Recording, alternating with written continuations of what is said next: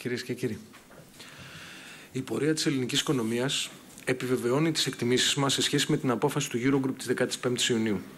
Από την πρώτη στιγμή είχαμε επισημάνει ότι με τη συμφωνία, πέρα από την ολοκλήρωση της δεύτερης αξιολόγησης, η ελληνική πλευρά απέσπασε και σαφείς δεσμεύσεις σε σχέση με τη ρύθμιση του ελληνικού χρέους. Συγκεκριμένα, η απόφαση περιλαμβάνει για πρώτη φορά τη ρήτρα ανάπτυξης, σύμφωνα με την οποία τα μεσοπρόθεσμα μέτρα για το χρέος επεκτείνονται ανάλογα με τις επιδόσεις της ελληνικής οικονομίας. Επίσης, περιλαμβάνει και ένα συγκεκριμένο αλγόριθμο για τον υπολογισμό των μεσοπρόθεσμων μέτρων για το χρέος, με επιμηκύνση οριμάνσεων και περίοδο χάριτος επιτοκίων μέχρι και 15 έτη αλλά και τη δημιουργία αποθεματικού ρευστότητας για την υποστήριξη του ελληνικού δημοσίου και την απόκτηση οριστικής πρόσβασης στις αγορές χρήματος. Οι θέσεις και οι εκτιμήσεις αυτές, παρά την κακόπιστη στάση της αντιπολίτευσης, επιβεβαιώνονται από τη συμπεριφορά των αγορών, τις επιτυχείς εκδόσεις ομολόγων ελληνικών επιχειρήσεων με, χαμηλά, με ιστορικά χαμηλά επιτόκια για την περίοδο της κρίσης, την εισρωή κεφαλαίων στο ελληνικό χρηματιστήριο, αλλά και από τις αποφάσεις του οίκου Μούντι που αναβάθμισε το αξιόχρεο του ελληνικού δημοσίου αλλά και των ελληνικών τραπεζών και μάλιστα με θετική προοπτική. Την ίδια στιγμή, την προηγούμενη εβδομάδα, τα ελληνικά ομόλογα σημείωναν χαμηλά κρίση με καθημερινή μείωση των επιτοκίων, ενώ η πορεία αυτή συνεχίστηκε και αυτή την εβδομάδα με τη μείωση των spreads, καθώς τα ελληνικά ομόλογα παρέμειναν σταθερά τη στιγμή που το σύνολο των ομολόγων της Ευρωζώνης σημειώνει αύξηση επιτοκίων. Με δεδομένη αυτή τη θετική πορεία, τα καταστροφολογικά σενάρια που προσπάθησε επί 8 συνεχείς μήνες να εξηφάνει η Νέα Δημοκρατία έχουν καταρρεύσει. Το αφήγημα περί διάλυσης της ελληνικής οικονομίας πλέον δεν μπορεί να στηριχτεί ούτε καν στη διαστρέβλωση των γεγονότων. Και εξ αυτού του λόγου η Νέα Δημοκρατία, που δεν θέλει να παραδεχτεί την ολική της διάψευση, επιλέγει να αντιπολιτευτεί με έναν ακόμη πιο ακραίο και επικίνδυνο τρόπο. Επιλέγει να αλλάξει το πεδίο της αντιπαράθεσης και να ασκήσει μια πρωτοφανή πολεμική, έχοντας στο πλευρό της, ως συνήθως, μεγάλη μερίδα των μέσων ενημέρωσης. Οι πολιτικές της τοποθετήσεις και η στάση της κινούνται πλέον στο όριο της προβοκάτσιας. Πρώτο επεισόδιο της νέας αντιπολιτευτικής γραμμής της Νέας Δημοκρατίας, η στάση της στο θέμα των συμβασιούχων στην καθαριότητα. Μετά τη χθεσινή συνάντηση της ΠΟΕΟΤΑ με τον Πρωθυπουργό και την πρόοδο που σημειώθηκε στη συζήτηση μεταξύ κυβέρνησης και Ομοσπονδίας, η συνδικαλιστική παράταξη της Νέας Δημοκρατίας, μετά από εντολές της ίδιας της ηγεσίας της, άλλαξε την πάγια θέση της στο Διοικητικό Συμβούλιο της ΠΟΕΟΤΑ και παρά την αντίθετη εισήγηση, οδηγηθήκαμε στο να μην ανασταλούν οι κινητοποίησει. Είναι προφανές ότι στη συγκεκριμένη περίπτωση η απεργία δεν αφορά πλέον την υπεράσπιση των συμφερόντων των συμβασιούχων, αλλά ούτε και τη διεκδίκηση δικαίων ετοιμάτων. Αντίθετα, στοχεύουν στην πρόκληση πολιτικού κόστου στην κυβέρνηση με κύρια θύματα τους πολίτες, τη δημόσια υγεία αλλά και τους ίδιους τους συμβασιούχους. Από τη δική μας μεριά, δηλώνουμε ότι η λύση που έχει δώσει η κυβέρνηση με τη ρύθμιση για την υπογραφή νέας σύμβασης, αλλά και την προκήρυξη διαγωνισμού για την πρόσληψη μόνιμων υπαλλήλων στην καθαριότητα από τους Δήμους, δίνει οριστικό τέλος στην ομοιρία χιλιάδων ανθρώπων και εγγυάται στο μέτρο του δυνατού και με τήρηση των σχετικών συνταγματικών κανόνων την αποκατάσταση της κανονικότητας στις εργασιακές σχέσεις του κλάδου. Η απεργία, επομένως, είναι πλέον αλυσιτελή. Ενώ θέλω να τονίσω ότι η επιλογή να συνεχιστούν οι κινητοποιήσεις χωρίς συγκεκριμένο επίδικο εξυπηρετεί τα σχέδια της αξιωματικής αντιπολίτευσης και όλων εκείνων που επιδιώκουν την παράδοση του χώρου της καθαριότητας στους ιδιώτες εργολάβους. Η κυβέρνηση δεν πρόκειται να επιτρέψει τη διακινδύνευση της δημόσιας υγείας, αλλά ούτε και την παράδοση μιας δημόσιας και ευαίσθητης υπηρεσίας σε ιδιωτικά συμφέροντα. Δεύτερο επεισόδιο της νέας αντιπολιτευτικής γραμμής της Νέας Δημοκρατίας είναι φυσικά η στάση που τηρεί στο θέμα των ερευνών για την υπόθεση του Νουρουάν. Στην απέλπιδα προσπάθειά τους να αποσταθεροποιήσουν την κυβέρνηση, δεν διστάζουν να επαναλαμβάνουν κατηγορίες εναντίον της κυβέρνησης που εκπορεύονται από συγκεκριμένα μέσα ενημέρωσης, τα οποία χρησιμοποιούν προδήλως παράνομες μεθόδους, οι οποίες παραπέμπουν σε, παρα... σε παρακρατικές πρακτικές. Δημοσιεύουν παρανόμως αποκτηθήσεις συνομιλίες, που σημειωτέων δεν αποδεικνύουν απολύτως τίποτα, ανακαλύπτουν δίθες και βορείες και όλα αυτά για να εμπλέξουν την ελληνική κυβέρνηση σε υποτιθέμενα σκοτεινά σενάρια πολιτικών διώξεων. Πρόκειται φυσικά περί γελίων ισχυρισμών που η Νέα Δημοκρατία υιοθετεί υποπίπτοντας σε μέγιστο πολιτικό και θεσμικό ατόπιμα. Η ταύτιση της αξιωματικής αντιπολίτευσης με τέτοιου τύπου ισχυρισμούς, το μόνο που επιτυγχάνει είναι να δηλητηριάσει την πολιτική αντιπαράθεση και να δυσχεράνει το έργο της διαλεύκανσης της μεγαλύτερης υπόθεσης εμπορία ναρκωτικών στην Ευρώπη. Μιας υπόθεσης η οποία περιπλέχτηκε περαιτέρω με τους ύποπτους θανάτους βασικών μαρτύρων. Πράγματι λοιπόν είναι να απορεί κανείς με τη βιασύνη αλλά και το φανατισμό με τον οποίο τόσο ο πρόεδρος της Νέας Δημοκρατίας όσο και βασικά στελέχη της προστρέχουν να υποστηρίξουν τέτοιου τύπου ισχυρισμούς. Η θέση της κυβέρνησης και για το συγκεκριμένο ζήτημα παραμένει σαφής. Θα κάνουμε ό,τι είναι δυνατόν εντός του πλαισίου των συνταγματικών κανόνων και της νομοθεσίας για να δημιουργήσουμε τις συνθήκες εκείνες που θα επιτρέψουν στην ελληνική δικαιοσύνη και τις ελληνικές αρχές να λειτουργήσουν απερίσπαστες και να προχωρήσουν στην πλήρη και οριστική διαλεύκανση της συγκεκριμένης υπόθεσης. Επισόδιο τρίτο. Αύριο, όπως ξέρετε, προγραμματίζεται από συνδικαλιστική οργάνωση των αστυνομικών η διενέργεια εκδήλωσης στην πλατεία Εξαρχείων με τη διακριτική αλλά σαφή στήριξη της Νέας Δημοκρατίας. Η επιλογή αυτή είναι προφανές ότι γίνεται για λόγους εντυπωσιασμού, για λόγους επικοινωνιακούς και σκοπεύει να δημιουργήσει όρους έντασης μεταξύ της ελληνικής αστυνομίας και συγκεκριμένου πολιτικού χώρου. Η ελληνική αστυνομία όμως γνωρίζει ότι δεν δράσε κενό αέρος. Υπάρχουν συγκεκριμένες ιστορικές συνθήκες μέσα στις οποίες η πολιτεία καλείται να εγγυηθεί την νομιμότητα. Και δουλειά της αστυνομίας δεν είναι να δημιουργεί βεντέτες με πολιτικούς χώρους, αλλά να διασφαλίσει τη τήρηση των νόμων και την ασφάλεια των πολιτών. Τα επεισόδια αυτά σκιαγραφούν λοιπόν τη βασική κατεύθυνση μέσα στην οποία έχει επιλέξει να κινηθεί η αξιωματική αντιπολίτευση και η οποία θυμίζει τις πιο σκοτεινές περιόδους της δεξιάς. Πρόκληση κοινωνικής έντασης για την εξυπηρέτηση ιδιωτικών συμφερόντων.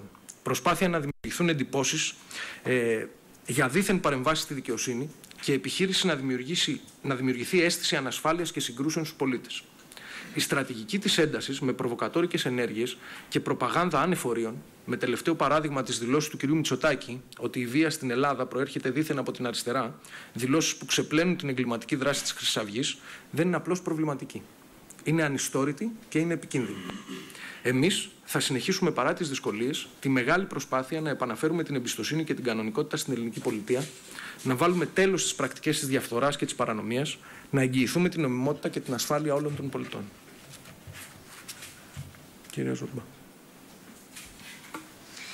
Κύριε εκπρόσωπε, δεδομένων των στοιχείων των θετικών της ελληνικής οικονομίας που παραθέσατε και εν ώψη της συνάντησης του κυρίου Τσίπρα με τον ε, κύριο Ρέγκλινγκ, ποιο είναι το αντικείμενο αυτής της συνάντησης και η κυβέρνηση έχει ένα συγκεκριμένο σχέδιο ε, με χρονοδιάγραμμα για έξοδο στις αγορές; Η συζήτηση με τον κύριο Ρέγκλινγκ, η συνάντηση, προφανώς θα έχει στην ατζέντα την ε, διαχείριση του ελληνικού δημόσιου χρέους και την ε, αποτίμηση των πρόσφατων ε, αποφάσεων του Eurogroup, καθώς και τον σχεδιασμό για την από εδώ και πέρα πορεία που θα οδηγήσει στην εφαρμογή των μεσοπρόθεσμων μέτρων στο τέλος του προγράμματος το 2018, έτσι ώστε το ελληνικό χρέος να καταστεί πλέον και στην πράξη βιώσιμο και να δημιουργηθεί η συνθήκη και εκείνη που θα επιτρέψει στην ελληνική οικονομία να αποκτήσει οριστική πρόσβαση στις αγορές για την αναχρηματοδότηση του χρέους της χωρίς την ε, στήριξη του επίσημου τομέα.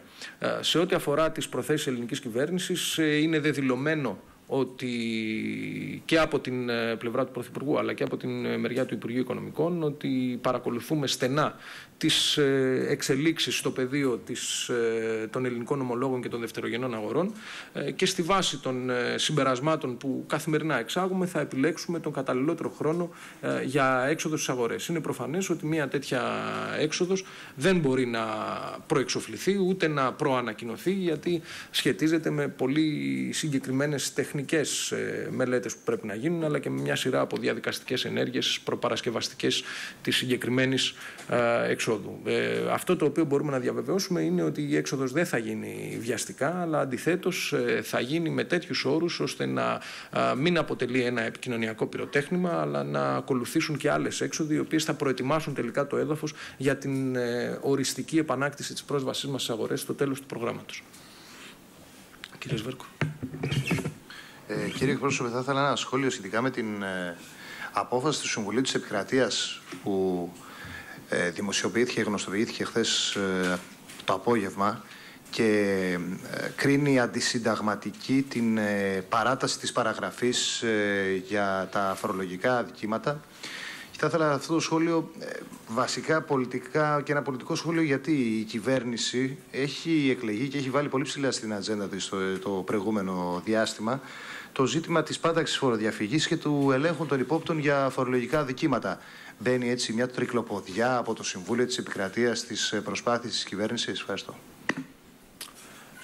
Κοιτάξτε κύριε Σβέρκο, εγώ δεν θέλω να κάνω αυτή τη στιγμή πολιτική ε, ερμηνεία της ε, απόφασης του Συμβουλίου της Επικρατείας. Δεν θέλω να κάνω εικασίες, ούτε θέλω να εντάξω την ε, συγκεκριμένη απόφαση σε ένα ερμηνευτικό σχήμα που θα τη συνδέει με άλλες αποφάσεις του Συμβουλίου της Επικρατείας που φαίνονται σε πολλούς ότι δημιουργούν εμπόδια στην, στο κυβερνητικό έργο. Δεν πρόκειται να κάνω, ξαναλέω, τέτοιου τύπου ερμηνευτικές προσπάθειες.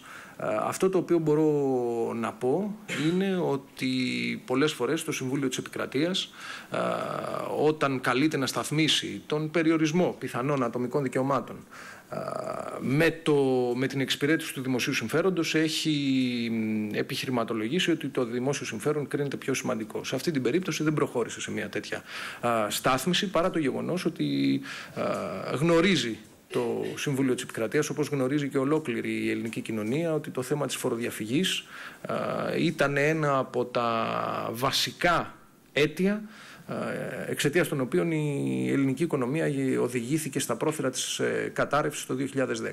Επίσης, όπως όλη ε, η ελληνική κοινωνία γνωρίζει, θα όφυλαν και οι Έλληνες δικαστές να γνωρίζουν και νομίζω ότι το γνωρίζουν, ότι τα προηγούμενα χρόνια έγιναν μια σειρά από πράξεις ή παραλήψεις εκ μέρους ε, προηγούμενων κυβερνήσεων, ε, οι οποίες καθυστέρησαν διαδικασίες ελέγχου που βασίζονταν σε στοιχεία που εμπεριέχονταν σε συγκεκριμένες λίστες φοροδιαφυγής, τα οποία η ελληνική κυβέρνηση είχε αποκτήσει από ξένες κυβερνήσεις ή από ξένους αξιωματούχους. Από τη δική μας πλευρά κάναμε και συνεχίζουμε να κάνουμε το πάνω ώστε αυτά τα στοιχεία να εξεταστούν ε, ενδελεχώς, να εξεταστούν ε, εξονυχιστικά και να βεβαιωθούν ε, πιθανά πιθανές οφειλές μεγάλων φοροφυγάδων. Σε κάθε περίπτωση η ελληνική κυβέρνηση στο πλαίσιο προφανώς των δεσμευτικών αποφάσεων των δικαστηρίων θα συνεχίσει τη μεγάλη προσπάθεια για την πάταξη της φοροδιαφυγής αλλά και για τον έλεγχο των ε, ληστών ε,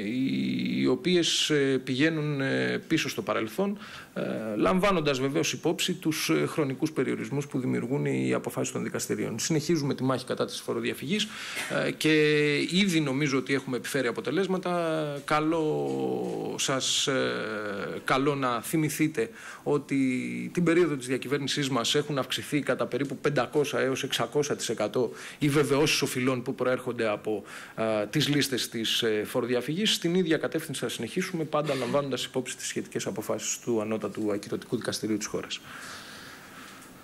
Παρακαλώ. Κύριε Εκπρόσωπο, έρχομαι στην αυριανή συγκέντρωση της ΠΟΣΗ να σας ρωτήσω με, με, με, δεδομένο τη συγκέντρωση που είχε εξαγγείλει στα Εξάρχεια, αλλά και μια συγκέντρωση, μια συγκέντρωση που έχουν εξαγγείλει αρχική στο Κολονάκι. Θέλω να σας ρωτήσω, υπάρχουν δημοσιεύματα από το πρωί ότι το Υπουργείο Προστασίας του Πολίτη και Δημόσιας Τάξης σκέφτεται να απαγορεύσει τις συγκεντρώσεις και να λάβει μια τέτοια απόφαση μέχρι το απόγευμα. Ε, το επιβεβαιώνετε αυτό, το γνωρίζετε; Το Υπουργείο Προστασίας του Πολίτη θα κάνει ό,τι είναι απαραίτητο έτσι ώστε να διασφαλιστεί η ασφάλεια και η τήρηση της νομιμότητας. Αυτή τη στιγμή δεν ε, είναι η ώρα για να γίνουν ε, οποιασδήποτε ανακοινώσεις. Θα σταθμιστούν ε, πιθανοί κίνδυνοι για την ασφάλεια των πολιτών και από εκεί και πέρα το Υπουργείο Προστασίας του Πολίτη είμαι βέβαιος ότι θα επιλέξει τη βέλτιστη λύση για την τήρηση των νόμων.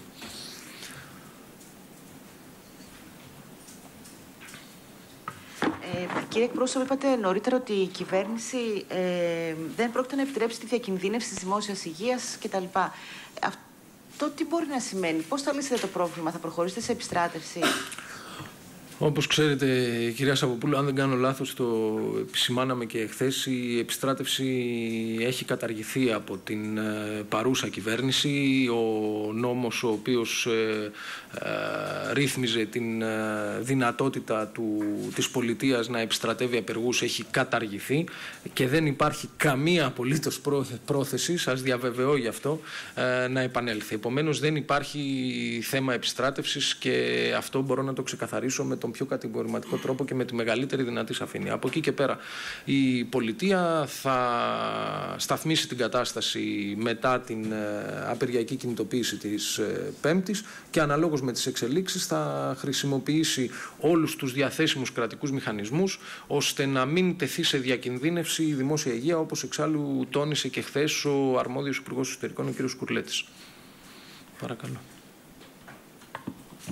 Επ' αυτού κύριε εκπρόσωπε, η κυβέρνηση σε περίπτωση που οι συνδικαλιστές, τα σωματεία δηλαδή και οι σύλλογοι αποφασίσουν να συνεχίσουν την απεργία τους, σκέφτεται την ε, λύση της αποκομιδής των απορριμμάτων από το στρατό; Αυτή τη στιγμή δεν έχω να κάνω κάποια συγκεκριμένη ανακοίνωση για τα σχέδια τα οποία υπάρχουν στο Υπουργείο Εσωτερικών για την ε, διαχείριση της κρίσης. Σας είπα ότι θα χρησιμοποιήσουμε όλους τους διαθέσιμους κρατικούς μηχανισμούς που θα μπορούσαν να βοηθήσουν ε, έτσι ώστε να μην υπάρξει διακινδύνευση της δημόσιας υγείας. Αυτό όμως το οποίο πρέπει να σταθώ είναι ότι α, έχουμε μια απεργιακή κινητοποίηση. Ωστόσο, η ελληνική κυβέρνηση, όπως είπα και στην εισαγωγική μου τοποθέτηση, έχει βρει την ε, καλύτερη δυνατή λύση, η οποία διασφαλίζει και τα συμφέροντα των συμβασιούχων, ε, δίνει άμεση λύση στο πρόβλημα με την ε, νέα ε, σύμβαση η οποία δεν έχει τους περιορισμούς που θα είχε μια παράταση μιας παλαιότερης σύμβασης. Όλα αυτά έχουν γίνει σε στενή συνεργασία και συνεννόηση και με τον ΑΣΕΠ και νομίζω ότι διασφαλίζεται η, διασφαλίζονται μέσω αυτής της ρύθμισης και τα συμφέροντα των συμβασιούχων. Αποκαθίστανται στο μέτρο του δυνατού οι εργασιακές σχέσεις στον ευαίσθητο κλάδο της καθαριότητας στους Δήμους και εκτιμώ ότι σε αυτή τη φάση δεν υπάρχει λόγος συνέχισης των ε, κινητοποιήσεων. Θέλω να ρωτήσω αν μπορεί η κυβέρνηση να δώσει ένα σαφές χρονοδιάγραμμα σε σχέση με την άρση των capital controls. Κοιτάξτε, ξέρετε ότι η άρση των capital controls ε, είναι σταδιακή, γίνεται σε συνεννόηση φυσικά με την ε, Τράπεζα της Ελλάδος, η οποία με τη σειρά της ε, συνεννοείται με το ευρωσύστημα. Έχω την βεβαιότητα ότι σιγά σιγά, σταδιακά δηλαδή, θα υπάρξουν νέες χαλαρώσεις των capital controls, ωστόσο δεν μπορώ να προεξοφλήσω συγκεκριμένους χρόνους οι οποίοι δεν εξαρτώνται μόνο από την βούληση της ελληνικής κυβέρνησης αλλά και από την, ε, ε, από τον Έλληνα κεντρικό τραπεζίτη, ο οποίος θα πρέπει να βρίσκεται σε στενή επικοινωνία και με τον ε, διοικητή της Ευρωπαϊκής Κεντρικής Τράπεζας, αλλά και με όλους τους μηχανισμούς εποπτείας του ελληνικού τραπεζικού συστήματος. Το βέβαιο είναι ότι στόχος είναι η σταδιακή απομείωση των κεφαλαιακών ελέγχων μέχρι να φτάσουμε στην ολική κατάργησή τους, καθώς η ελληνική οικονομία επανέρχεται σε μια κατάσταση σταθερότητας και αποκατάστασης της εμπιστοσύνης. Κύριε Βιτάλη, ο κύριος Περδικάρης και στη συνέχεια εσείς, ναι. Ο κύριος Κουλιαράκης νωρίτερα στο συνέδριο του Economist ανέφερε ότι κανείς δεν περίμενε περαιτέρω μέτρα, σας το διαβάζω ακριβώς. Κανείς δεν περίμενε περαιτέρω μέτρα για το χρέος σε αυτή τη φάση. Αυτή η δήλωση είναι σε αρμονία με τα όσα έλεγε η κυβέρνηση και ο Πρωθυπουργός το προηγούμενο διάστημα; Ναι, κοιτάξτε κύριε Περδικά, δεν έχω ακούσει τώρα ακριβώς το σύνολο της ομιλίας του κυρίου Χουλιαράκη για να μπορέσω να τη σχολιάσω. Αυτό το οποίο μπορώ να σας πω όμως είναι το εξής. Ε, τα έχουμε εξάλλου ξαναπεί αρκετές φορές και από αυτό εδώ το βήμα και σε αυτήν εδώ την αίθουσα. Η συζήτηση η οποία γινόταν αφορούσε την ε, συγκεκριμενοποίηση, τον προσδιορισμό ε, των μεσοπρόθεσμων μέτρων για το χρέος που θα εφαρμοστούν ε, με τη λήξη του προγράμματος. Ε, αυτό το οποίο ανέμενε η ελληνική κυβέρνηση ήταν ακριβώς μια συγκεκριμενοποίηση τέτοια ε, που θα έδινε τη δυνατότητα για την ε, αποκατάσταση της εμπιστοσύνης διότι οι αγορές πλέον θα είχαν έναν σαφή οδικό χάρτη αλλά και μια σαφή περιγραφή για το ποια μέτρα πρόκειται να εφαρμοστούν από τον Αύγουστο του 2018 και πέρα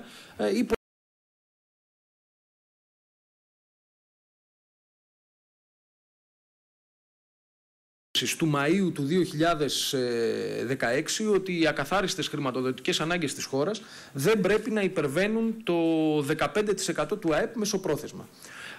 Και για να γίνει αυτό, δηλαδή με δεδομένα τα πρωτογενή πλεονάσματα και με δεδομένο το όριο των ακαθάριστων, των ακαθάριστων χρηματοδοτικών αναγκών ε, της χώρας, αυτό το οποίο υπόθηκε είναι ότι αναλόγως με την ανάπτυξη θα έχουμε επιμηκύνσεις επιτοκίων μέχρι, ε, επιμηκύνσεις οριμάνσεων μέχρι και 15 έτη, αλλά και περίοδο χάριτος για τα επιτόκια επίσης μέχρι και 15 έτη. Πλέον είναι στο χέρι όλων ε, όσων συμμετέχουν στην αγορά και γνωρίζουν τις τεχνικές λεπτομέρειες με βάση αυτά τα στοιχεία να υπολογίσουν το ύψος των μεσοπρόθεσμων μέτρων ανάλογα και με τις προβλέψεις που θα κάνει ο καθένας για την ανάπτυξη της ελληνικής οικονομίας. Έχουμε λοιπόν αυτό το οποίο μπορούμε να ονομάσουμε έναν κλειδωμένο αλγόριθμο. Έχουμε μια απλή ε, ακολουθία μαθηματικών πράξεων που προσδιορίζει ε, συνολικά και με πολύ ε, μεγάλη ακρίβεια τα μεσοπρόθεσμα μέτρα για το ελληνικό χρέος. Εκεί που υπάρχουν διαφωνίες είναι στο πεδίο των προβλέψεων για την ανάπτυξη της ελληνικής οικονομίας. Δηλαδή, οι ευρωπαϊκοί θεσμοί λένε ότι η ανάπτυξη της ελληνικής οικονομίας στο μεσοπρόθεσμο διάστημα θα είναι 1,3%. Το Διεθνές Νομισματικό Ταμείο λέει ότι η ανάπτυξη θα είναι μικρότερη, επομένως θέλει μια μεγαλύτερη ε, έναν, ε, μια μεγαλύτερη περίοδο ε, για την επιμήκυνση των οριμάνσεων. Ωστόσο, αναμένουμε να δούμε στις 27 Ιουλίου ποια θα είναι και η τελική του απόφαση, καθώς τότε θα έχουμε και την τελική αποτίμησή του μέσα από την μελέτη βιωσιμότητας του χρέους που θα κάνει. Επίσης, θεωρώ ότι οι αγορές έχουν εκτιμήσει ότι ο προσδιορισμός αυτών των μεσοπρόθεσμων μέτρων είναι αρκετά ακριβής και αρκετά συγκεκριμένος ώστε σιγά σιγά να αρχίσουν να αποκαθιστούν την ε, δυνατότητα της Ελλάδας να έχει πρόσβαση ε, στις ε, αγορές. Ε, και νομίζω ότι αυτό είναι και το πιο θετικό σημάδι το οποίο έχουμε μετά την απόφαση του Eurogroup της 15ης Ιουνίου. Χαρακτηριστικά, όπως σας είπα και προηγουμένως, είναι και χαρακτηριστική μάλλον όπως σας είπα και προηγουμένως, είναι η πορεία των ελληνικών ομολόγων τα οποία ε, σημειώνουν ε, διαρκή μείωση των επιτοκίων τους ενώ τις δύο τελευταίες μέρες έχουν μειωθεί περαιτέρω τα spreads, δηλαδή η διαφορά με το ύψος του επιτοκίου του γερμανικού ομολόγου. Όλα αυτά θεωρούμε ότι είναι θετικά σημάδια και με αυτή την έννοια μπορούμε να πούμε με μεγάλη βεβαιότητα ότι η απόφαση του Eurogroup ήταν ε, θετική για την ε, ελληνική οικονομία και αποτελούσε, αποτέλεσε και μια διαπραγματευτική καλή είδηση για την ε, ελληνική κυβέρνηση.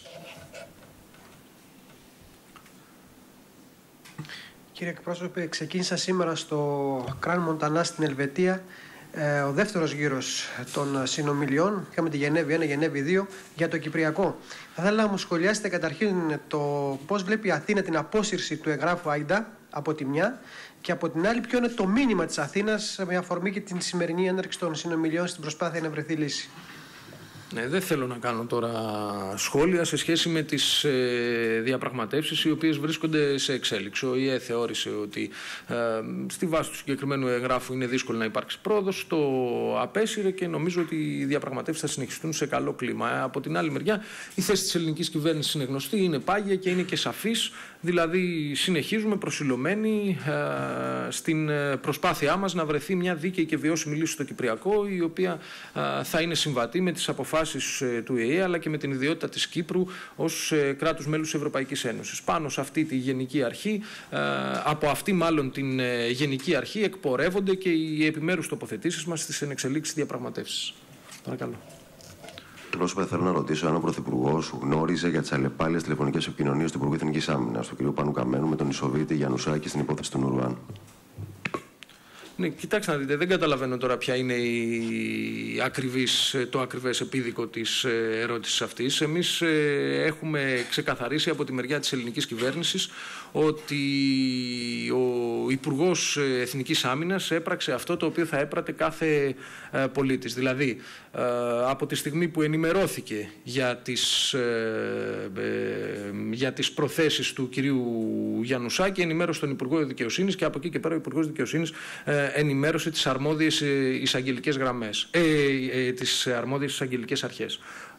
Ο Πρωθυπουργός όσο και το σύνολο της ε, κυβέρνησης κάνουν αυτό το οποίο οφείλουν στο πλαίσιο της συνταγματικής τάξης και των νόμων έτσι ώστε να διαλευκανθεί μια υπόθεση εμπορίας ναρκωτικών. Ε, και νομίζω ότι αυτό είναι και το βασικό στοιχείο της συγκεκριμένης υπόθεσης. Σε σχέση με την ε, ερώτηση που μου κάνετε, ε, δεν ε, γνωρίζω αν ο κύριος Καμένος είχε ενημερώσει τον Πρωθυπουργό. Το βέβαιο είναι ότι ο Πρωθυπουργός τώρα γνωρίζει, όπως γνωρίζει και το σύνολο της ελληνικής κοινωνίας, ότι από τη μεριά της ελληνικής κυβέρνησης πράχθηκαν τα δέοντα στη βάση του θεσμικού πλαισίου και στη βάση των ε, υποχρεώσεων που θα είχε κάθε Έλληνας πολίτης, δηλαδή να ενημερώσει άμεσα τους ε, αρμοδίους για να προχωρήσουν ε, στις διαδικαστικές ενέργειες οι οποίες καθορίζονται με βάση τον νόμο. Ε, ήθελα να ρωτήσω τι γίνεται κύριε εκπρόσωπε με το θέμα του QE. Είδαμε μια ε, απάντηση του κυρίου Ντράγκη πριν από μερικές μέρες, ε, ο οποίος έβαλε για άλλη μια φορά φρένο και ήθελα να μας πείτε αν για την ε, ελληνική κυβέρνηση παραμένει ακόμα βασικός στόχος όπως όλους τους προηγούμενους μήνες που περιμέναμε ότι θα έχουμε μπει είτε τέλη Ιουνίου είτε μέσα στον Ιούλιο. Ναι, κοιτάξτε να δείτε. Η απάντηση του κυρίου Ντράγκη, αν δεν κάνω λάθος, με επιστολή του σε Έλληνα Ευρωβουλευτή, περιγράφει αυτό το οποίο σας είπα προηγουμένως, ότι έχουν γίνει θετικά βήματα ως προς την βιωσιμότητα του ελληνικού χρέους, ότι έχουν ληφθεί αρκετά, έχουν συγκεκριμενοποιηθεί μάλλον τα μεσοπρόθεσμα μέτρα για το χρέος, απομένουν ωστόσο να γίνουν ε, πολλά, ε, απομένουν ωστόσο να γίνουν ε, και άλλα βήματα, ώστε εμπράκτος πια μετά τη λήξη του προγράμματος το 2018 το ελληνικό χρέος να καταστεί και βιώσιμο. Αναμένεται δηλαδή η εφαρμογή αυτών των μέτρων και η συγκεκριμένη ποσοτικοποίησή τους. η σε αυτή τη φάση δεν θέλω να προχωρήσω σε εκτιμήσεις ή σε ε, εικασίες για το τι πρόκειται να πράξει η Ευρωπαϊκή Κεντρική Τράπεζα κατά την ε, μελέτη βιωσιμότητας του χρέους. Αυτό το οποίο μπορώ να πω είναι ότι η εκτίμηση της ελληνικής κυβέρνησης είναι ότι υπάρχουν ε, οι όρικοι προϋποθέσεις για θετικές μελέτες ε, βιωσιμότητας του ελληνικού χρέους ε, τόσο από το Διεθνές Νομισματικό Ταμείο το οποίο πρέπει να αναθεωρήσει προς τα πάνω τις προβλέψεις του για την ανάπτυξη στη χώρα όσο και από όλους τους υπόλοιπους ευρωπαϊκούς θεσμούς. Ωστόσο η Ευρωπαϊκή Κεντρική Τράπεζα θα κάνει τη δική της ανεξάρτητη ανάλυση της βιωσιμότητας του χρέους και στη βάση των αποτελεσμάτων που θα προκύψουν από αυτή την ανάλυση θα αποφασίσει για το αν και κατά πόσο θα ενταχθούν τα ελληνικά ομόλογα στο πρόγραμμα ποσοτικής χαλάρωσης. Αυτό μένει να αποδειχθεί τους επόμενους μήνες και σε κάθε περίπτωση μετά την ε, δημοσίευση της ε, σχετικής ανάλυσης του Διεθνούς Νομισματικού Ταμείου.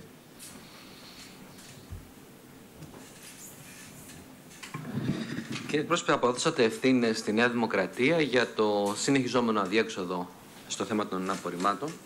Ε, νομίζω ότι αυτό είναι από χθες και μετά, με τη συγκεκριμένη στάση δηλαδή μερίδας συνδικαλιστών. Μέχρι τη χθεσινή μέρα, όπου είχαμε την επίμαχη συνεδρίαση, χρειάστηκε να φτάσει η χώρα στο ΚΕ5, στην κορύφωση της τουριστικής περίοδου, ώστε να αναλάβει ήδη ο Πρωθυπουργός πρωτοβουλία να άρει το αδιέξοδο. Θέλω να ρωτήσω αν μέχρι και τη χθεσινή μέρα πιστεύετε ότι υπάρχουν ευθύνε ή έλλειψη αποτελεσματικότητας από την κυβέρνηση για να φτάσουμε σε αυτή την κατάσταση. Ευχαριστώ.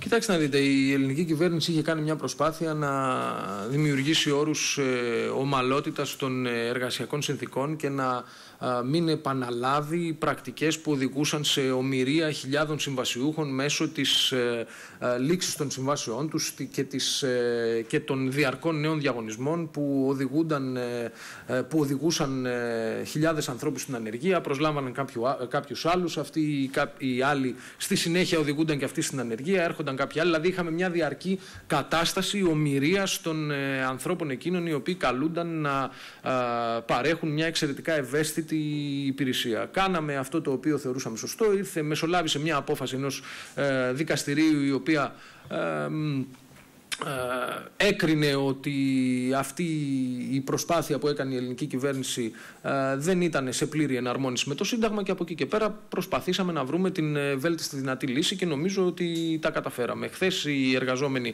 θεώρησαν ότι καλύπτονται οι επιφυλάξεις τους κατά την συνάντηση με τον Πρωθυπουργό. Θεωρώ ότι μέσα σε μια δημοκρατία αυτός είναι ο τρόπος με τον οποίο επιλύονται τα προβλήματα, με διάλογο μεταξύ των ανθρώπων που κινητοποιούνται και της κυβέρνησης, εφόσον υπάρχει πρόθεση και από τις δύο μεριές να βρεθεί λύση. Από τη δικιά μας μεριά ξαναλέμε ότι θα πιθανόν θα μπορούσε να έχει λυθεί το θέμα ε, πάρα πολύ γρήγορα ε, κάνοντας το εξής, δίνοντας κατευθείαν, ε, για παράδειγμα, το, την υπηρεσία αυτή σε ιδιώτες. Πράγμα το οποίο θα δημιουργούσε πρώτον τεράστιο δημοσιονομικό κόστος, καθώς οι υπηρεσίες στους ιδιώτες είναι πολύ, ε, ε, δίδονται με πολύ υψηλότερη τιμή και δεύτερον καταδικάζοντας χιλιάδες ανθρώπους σε συνθήκες εργασιακής γαλέρας, διότι ξέρετε οι περισσότεροι από αυτούς τους ανθρώπους δουλεύουν σε ε, τραγικές εργασιακές συνθήκες. Αντιθέτως, εμείς επιλέξαμε το δύσκολο δρόμο. Ο δύσκολος δρόμος είναι ο δρόμος του διαλόγου, έτσι ώστε να αποκατασταθούν συνολικά οι εργασιακές σχέσεις, να υπάρχει σεβασμός σε ανθρώπους οι οποίοι προσφέρουν μια σπουδαία ε, υπηρεσία και να ε, μπορέσουμε να τελειώνουμε πια με την, αυτή την, με με αυτήν την ε, πανσπερμία εργασιακών σχέσεων που υπάρχει στο δημόσιο τομέα για λόγους πολιτικής σκοπιμότητας, διατήρησης εκλογικής πελατείας ε, και πρόκλησης ε, πολιτικών αποτελεσμάτων. Η γνώμη μας είναι ότι η καθαριότητα πρέπει να είναι μια δημόσια υπηρεσία και πρέπει το κράτος να εγγυάται ότι αυτή θα παρέχεται με τους καλύτερους δυνατούς όρους τόσο για αυτούς οι οποίοι εργάζονται σε αυτό τον ευαίσθητο τομέα όσο και για τους πολίτες οι οποίοι ευνοούνται από την παροχή της συγκεκριμένης υπηρεσίας.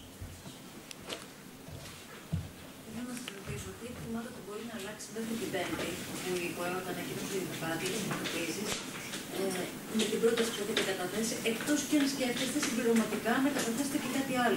Όχι, κοιτάξτε, θεωρούμε ότι η πρόταση η οποία έχουμε καταθέσει καλύπτει τα αιτήματα της Ομοσπονδίας, αλλά ε, κυρίως εξυπηρετεί τα συμφέροντα των συμβασιούχων. Τώρα από εκεί και πέρα σας ε, εξήγησα ότι ο λόγος για τον οποίο, κατά τη γνώμη της κυβέρνησης, παρατάθηκε η, παρατάθηκαν οι κινητοποίησεις έχουν να κάνουν με μια προσπάθεια πρόκλησης ε, πολιτικού κόστου στην κυβέρνηση μετά από ε, μια περίεργη ε, αλλαγή στάσης της ε, ΔΑΚΕ αλλά και από τους ε, ανθρώπους εκείνους οι οποίοι λίγες ώρες πριν ε, συμφωνούσαν ότι αυτή τη στιγμή έχουμε καταφέρει να βρούμε την βέλτιστη λύση. Εν πάση περιπτώσει ας περιμένουμε να ολοκληρωθεί η απεργία της Πέμπτης. Είναι και κατανοητό σε μεγάλο βαθμό ότι οι εργαζόμενοι μπορεί να θέλουν ε, να ολοκληρώσουν εν πάση περιπτώσει έναν κύκλο κινητοποιήσεων πριν ε, σταματήσουν για να μπορέσουμε να σταθμίσουμε την κατάσταση και να προχωρήσουμε στις αναγκαίες ενέργειες. Σας ξαναείπαμε βασική προτεραιότητα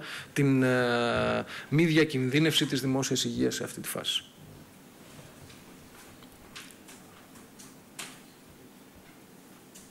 Εντάξει, σας ευχαριστώ πάρα πολύ.